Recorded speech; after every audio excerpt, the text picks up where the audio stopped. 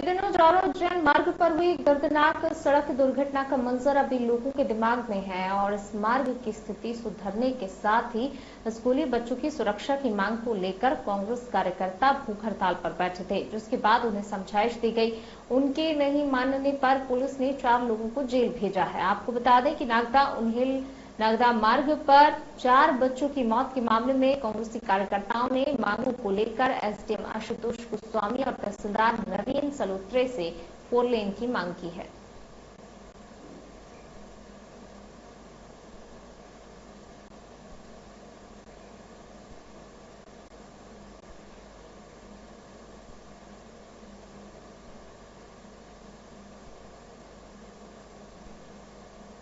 पहला जहाँ तक फोर लेन की जो बात की गई है, आपने बिल्कुल समझदारी का परिचय देते हुए खुद ही बताया है कि क्योंकि टाइम हज़ार करोड़ का प्रोजेक्ट है, उसमें भी अपने टाइम लगता है।